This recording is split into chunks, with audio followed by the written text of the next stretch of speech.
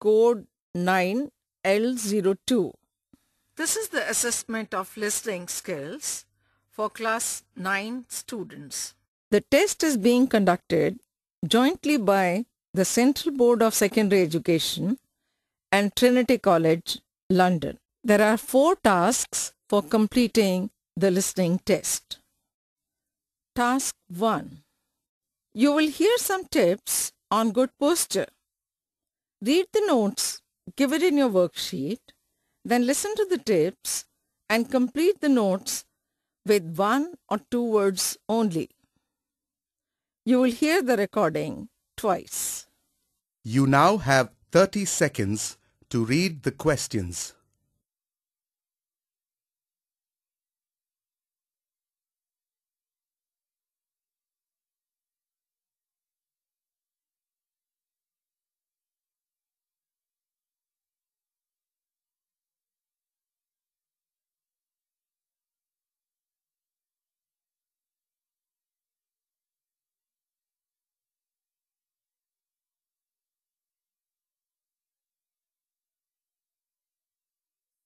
Task 1.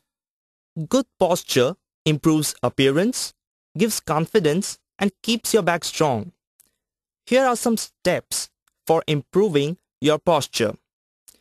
When standing, hold your head up, pull your stomach in, keep your chest forward and your knees straight to avoid injuring your back. When sitting, a chair with a backrest will keep your back straight. When working, never bend over your desk. Sit with your knees making a right angle and your feet flat on the floor. When lying down, lie with your head on a pillow so that your spine is in a natural position. While lifting things, bend at the knees so that your leg muscles take the weight, not your back. While lifting, keep the object close to your body. Now you will hear the recording again. Good posture improves appearance, gives confidence, and keeps your back strong. Here are some steps for improving your posture. When standing, hold your head up, pull your stomach in, keep your chest forward and your knees straight to avoid injuring your back. When sitting, a chair with a backrest will keep your back straight. When working, never bend over your desk. Sit with your knees making a right angle and your feet flat on the floor. When lying down, lie with your head on a pillow so that your spine is in a natural position. While lifting things, bend at the knees so that your leg muscles take the weight not your back. While lifting, keep the object close to your body. You now have 10 seconds to check your answers.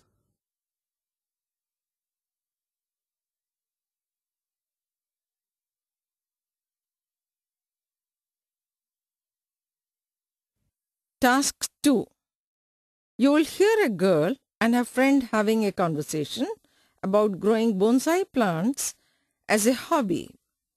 Read the statements given in your worksheet, then listen to the conversation and choose five of the options A to H which are correct. Write the correct letters in the blank boxes. You will hear the recording twice. Which five of the following statements are true? You now have 30 seconds to read the questions.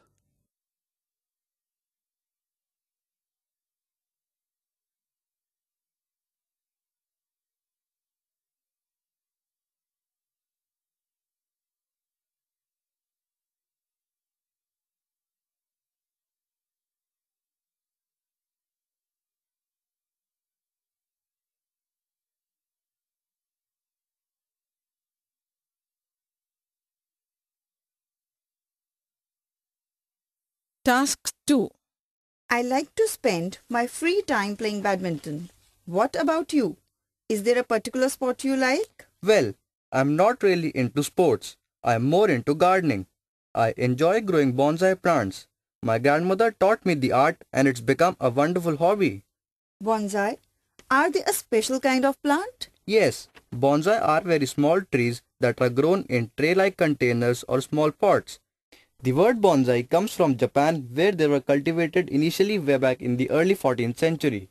That's a rather unique hobby, but I can't understand how a tree, even if it's a small one, grows in a pot. I know, it's hard to believe, but the trees are cut regularly and are trained to grow to a maximum height of about 3 feet. In fact, some bonsai are also so small that they can fit in the palm of your hand. But still, they resemble fully grown trees. Tell me, how long do bonsai plants live? Oh, most bonsai trees have a very long life. In fact, some bonsai trees live for over a hundred years and are lovingly passed on from one generation to the next. How interesting. I think a bonsai would also make a good gift. Next time, I'll give my friends a bonsai rather than a bouquet of flowers that would die in a few days. A good idea, indeed. And I could teach you how to grow and look after a bonsai. Oh, thank you. That would be nice. Is it difficult to grow a bonsai? Well, yes. A lot of care is required to maintain a tree's health in a small pot. Oh, really? Yes, raising bonsai requires controlling the shape the trees take. You need to bend branches with wires and cut them regularly. Bonsai also need regular repotting. This is a process where overgrown roots are cut before replanting in new soil. Oh my, this is definitely not easy. It requires a lot of patience and creativity. In fact, it's no less than an art, isn't it? Exactly. That's why growing bonsai is called an artistic hobby. It's an art that has no end as there is no such thing as finished bonsai. As long as the trees are alive, they must be cared for on a daily basis. True. So, when can I see your collection of bonsai? Oh, do drop in anytime tomorrow. Now you will hear the recording again. I like to spend my free time playing badminton. What about you?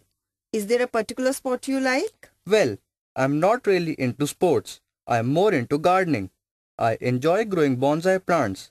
My grandmother taught me the art and it's become a wonderful hobby. Bonsai? Are they a special kind of plant? Yes, bonsai are very small trees that are grown in tray-like containers or small pots. The word bonsai comes from Japan where they were cultivated initially way back in the early 14th century. That's a rather unique hobby, but I can't understand how a tree, even if it's a small one, grows in a pot. I know, it's hard to believe, but the trees are cut regularly and are trained to grow to a maximum height of about 3 feet. In fact, some bonsai are also so small that they can fit in the palm of your hand. But still, they resemble fully grown trees. Tell me, how long do bonsai plants live?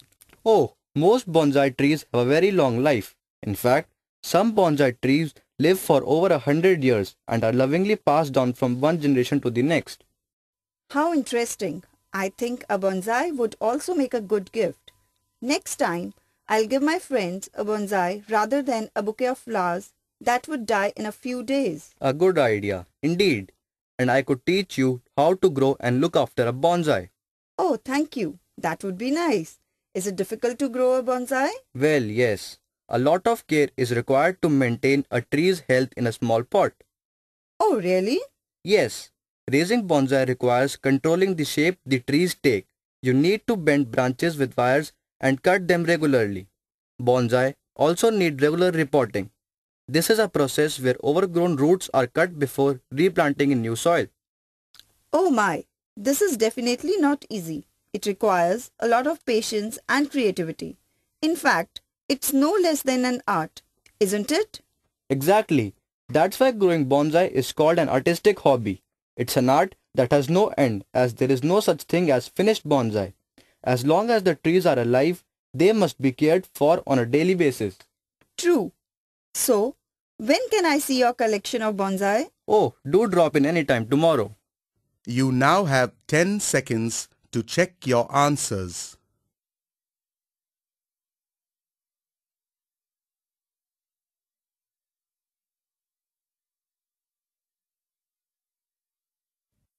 Task 3. You will hear five short extracts of people expressing their views on music.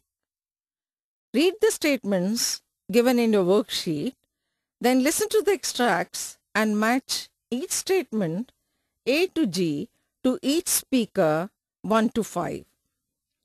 There are two statements you do not need. You will hear the recording twice.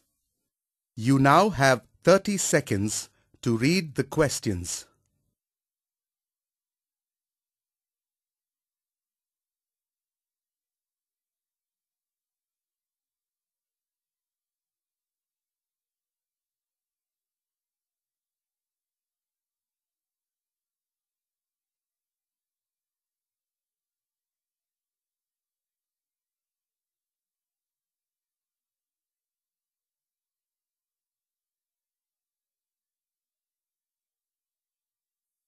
Task 3.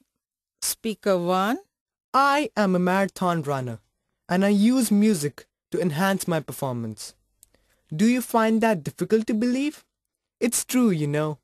Just try training listening to some music. Time will fly and you won't realize how well body movement and coordination have improved.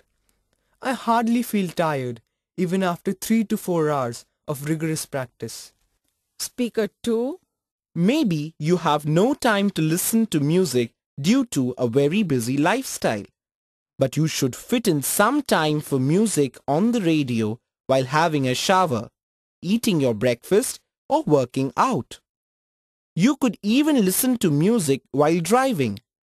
Listening to soft music at bedtime is also a good idea.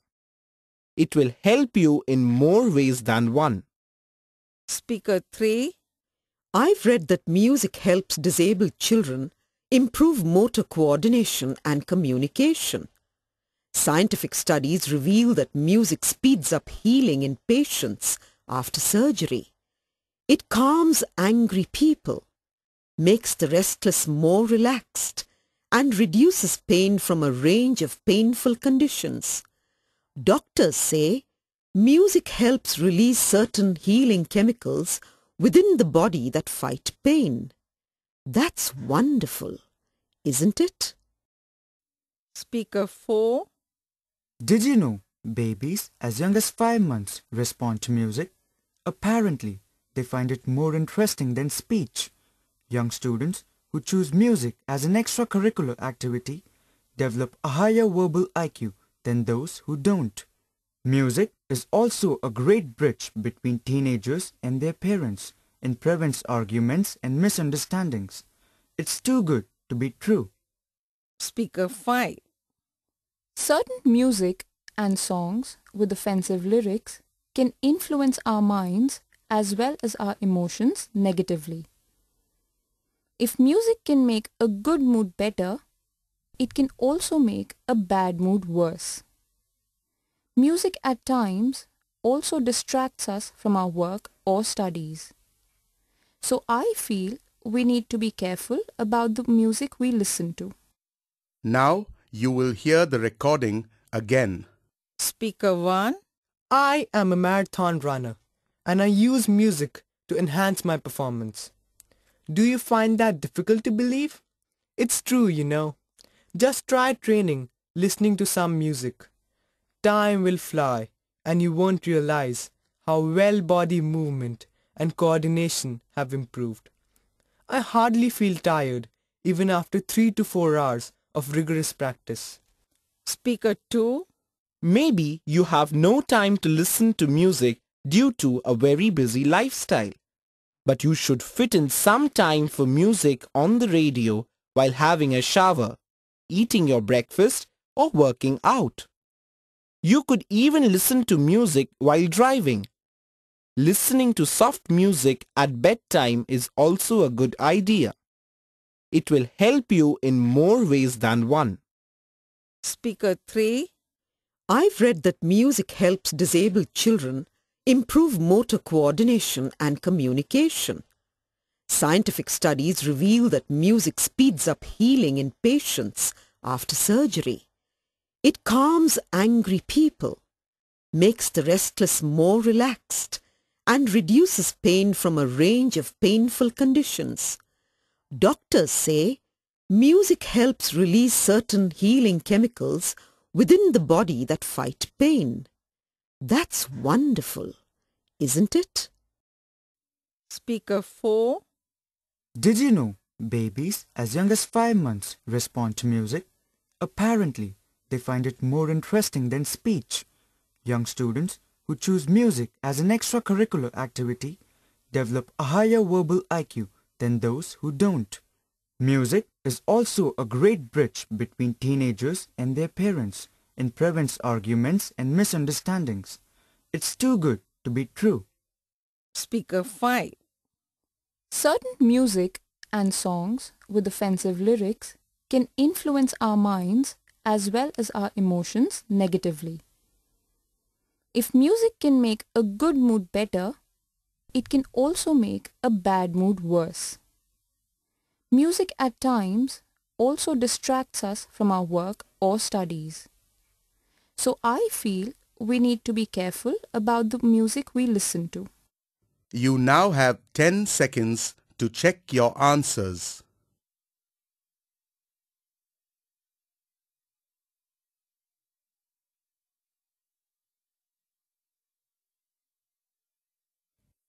Task 4. You will hear a scientist address students on how to be successful in life. Read the questions given in your worksheet, then listen to the extract and choose A or B or C for each question. You will hear the recordings twice. You now have 30 seconds to read the questions.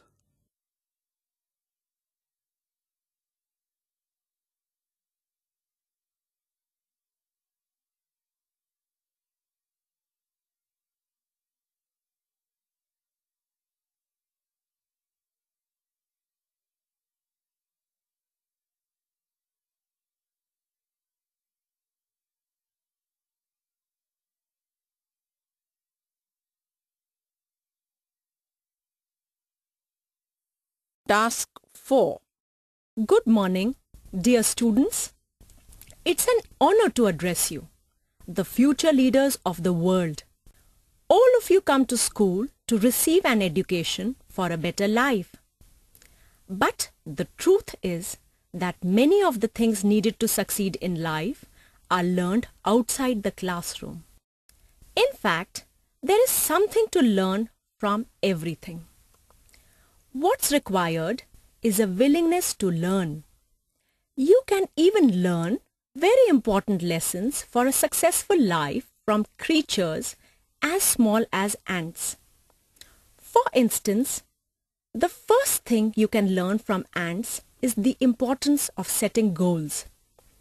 Ants know what to do in every season. They plan well in advance and work hard to avoid famine. In order to move forward purposefully, you must have goals in your life. I would say a goal helps show you the way ahead. The next thing you can learn from ants is determination. It doesn't matter how long it takes or how many obstacles they encounter, ants always find a way to reach their destination. Now, if you face a challenge, what do you do? How do you cope? Ants teach us that no matter how terrifying things may look, you should never quit or lose hope. Ants ignore all that comes in the way of achieving their objective. If you put your finger in an ant's path, it just walks around it and marches on to where it's heading. Similarly, you shouldn't let anything get in the way of realizing your objective. For example, if there's a lot of homework to do, don't let the television divert your attention before you complete it. Ants always work in a team. When one ant finds food, it informs the others so that everyone can share it. You should do the same with regard to knowledge and resources. Remember, knowledge unshared can't be used for the progress and well-being of mankind. Finally, we find ants just about anywhere. It's remarkable how they've managed to get the most out of living with human beings. Walk in the forest and you'll find ants. Move into a new house and you'll eventually find them there. Like them, you, too, should adapt to your surroundings and when things change, learn to make the most of it. Watching ants is an incredible experience. The lessons they teach are priceless. I believe these lessons can certainly help you succeed in life. Thank you. Now you will hear the recording again. Good morning, dear students. It's an honor to address you, the future leaders of the world. All of you come to school to receive an education for a better life. But the truth is that many of the things needed to succeed in life are learned outside the classroom. In fact, there is something to learn from everything. What's required is a willingness to learn. You can even learn very important lessons for a successful life from creatures as small as ants. For instance, the first thing you can learn from ants is the importance of setting goals. Ants know what to do in every season. They plan well in advance and work hard to avoid famine. In order to move forward purposefully, you must have goals in your life. I would say a goal helps show you the way ahead. The next thing you can learn from ants is determination. It doesn't matter how long it takes or how many obstacles they encounter, ants always find a way to reach their destination. Now, if you face a challenge, what do you do? How do you cope? Ants teach us that no matter how terrifying things may look, you should never quit or lose hope. Ants ignore all that comes in the way of achieving their objective. If you put your finger in an ant's path, it just walks around it and marches on to where it's heading. Similarly, you shouldn't let anything get in the way of realizing your objective. For example, if there's a lot of homework to do, don't let the television divert your attention before you complete it. Ants always work in a team. When one ant finds food, it informs the others so that everyone can share it. You should do the same with regard to knowledge and resources. Remember, knowledge unshared can't be used for the progress and well-being of mankind.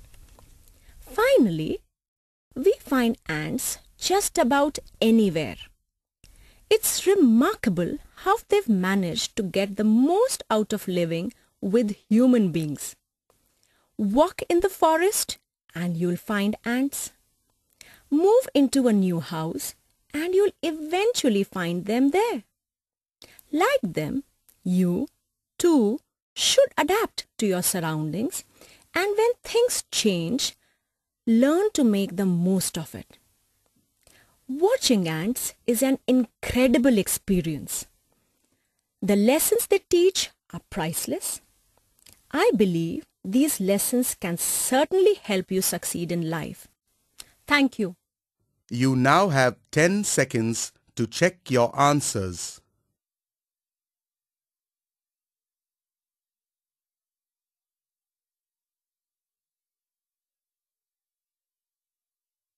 That is the end of the test.